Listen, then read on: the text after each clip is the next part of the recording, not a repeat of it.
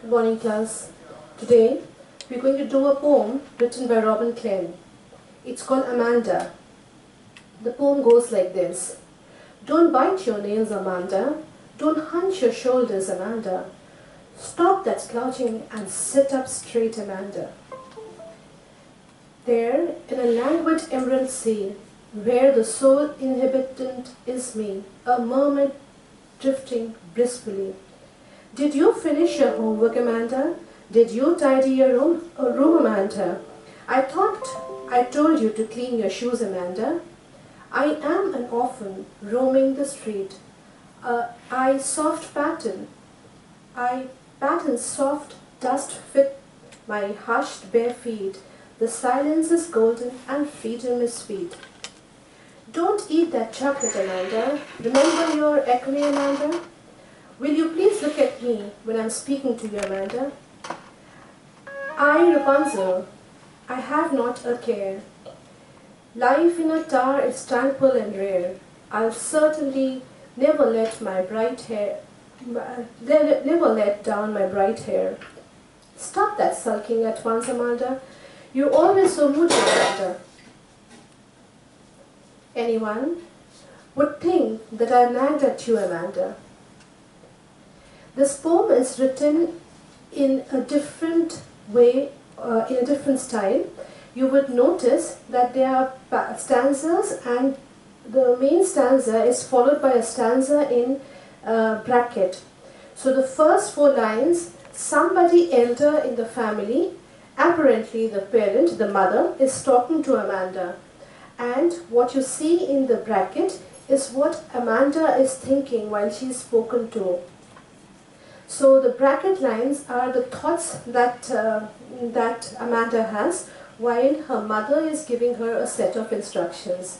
So she, the few step of instructions that the mother gives in the first stanza is about not biting her nails, about not hunching and sitting and walking and uh, sitting up straight. While she's being talked about all this, she, Amanda, is lost in a world of fantasies of her own. She is, she thinks of herself to be a mermaid drifting happily in the green white sea. She wishes to be uh, uh, in a place where she is the only inhabitant. She wants no company and, and therefore she wishes to be in an island and wishes to be a mermaid. The second part of the poem, the, the other set of instructions that follow uh, other set of questions that follow. The first one being, did you finish your homework, Amanda? Did you tidy your room, Amanda? I thought you were cleaning your shoes, Amanda. So all this the mother said she thought Amanda has done. Apparently, Amanda has been not doing all these things, but the mother is concerned and therefore is asking. But she's asking too many questions. And while she asks these questions, Amanda only hopes that she is an orphan, orphan roaming in the street, often making, uh, making some patterns with her, with her bare feet in the soft dust.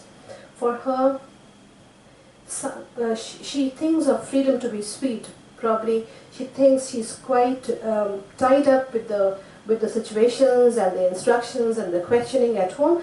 And she said, I'd rather be an orphan. She says, I'm wishing for a place where it would be silence. And it says, she says, silence is golden. And for her, freedom is sweet. Then the other sets of don'ts and do's by the mother, don'ts by the mother. Don't eat that chocolate, Amanda. Remember your acne, Amanda? Will you please look at me and when I'm speaking to you, Amanda? Again, then when while she's uh, the mother instructs, Rapunzel, uh, she thinks of herself. Amanda thinks of herself to be Rapunzel. She says, "I wish to live a tranquil life, a life of tranquility, of peace, of solitude, where none but um, she herself live. She wants to live in a in a tower, which is in an isolated place, just as the tower, the castle in which Rapunzel lived. And she says, I will not be like Rapunzel to throw my uh, brown, yellow bright hair down to let the prince uh, prince in. She says that she wishes to be Rapunzel, Rapunzel and live in tranquility. Now, while all this is happening, um, And while all this, the mother is saying, Rapunzel has been thinking of something else and not looking at the mother at all while she speaks, not giving an answer to the questions that the mother is asking her. And therefore, mother has some other opinion, and this is what she has to say. Stop that sulking at once, Amanda. You look so moody, Amanda. Anyone would think that I nagged at you, Amanda. So this is what the mother thinks. Probably she doesn't realize, the mother doesn't realize that Amanda has actually been thinking uh, of being an orphan, living a sol life of solitude, living in a life in a, uh, in a solitary place, in a solitary castle, in one of those stars in the castle. She wants no, wishes no company. And um, while she's lost in those thoughts, the mother thinks that Amanda has been sulking. So one more time, this is what the poem is about. This poem depicts the state of uh, the state of the little girl's mind who's constantly instructed about the do's, do's and the don'ts by her elders, probably the mother. She is told not to hunch her shoulders and to sit upright. She is told to finish her homework and tidy her room. She is forbidden from eating chocolates that she has, but all the time the little girl Amanda keeps dreaming of a life of freedom in the open. She dreams of mermaids in the sea, of roaming barefoot in the dusty streets, and of golden-haired Rapunzel who lived, in a, lived alone in a high tower. She takes no note of what is being said to her. She is then rebuked for being moody and sulking all the time.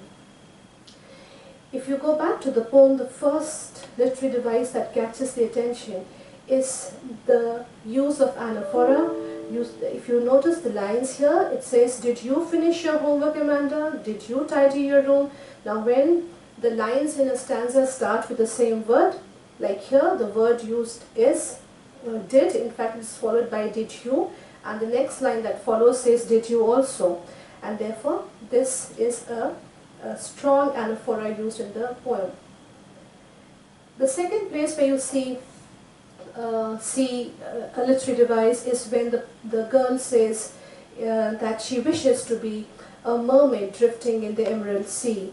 Now that's a strong imagery. It is a visual imagery. She wishes uh, her desire to be in, a, in the green sea and to be a mermaid is an example of imagery.